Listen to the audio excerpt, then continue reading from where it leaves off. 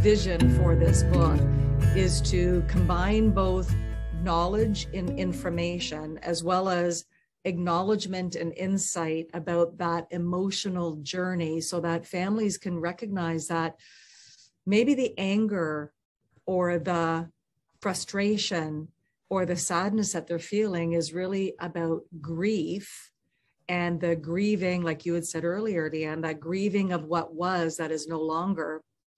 And it is a change management process for both sides.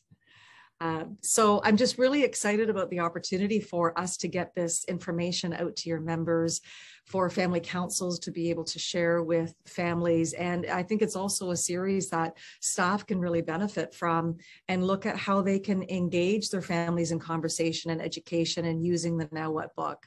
So I just want to say thank you so much for the invitation and the opportunity to partner with Family Councils Ontario. I'm so excited to hear about the kinds of conversations and insights that will, will come from the information that we're sharing.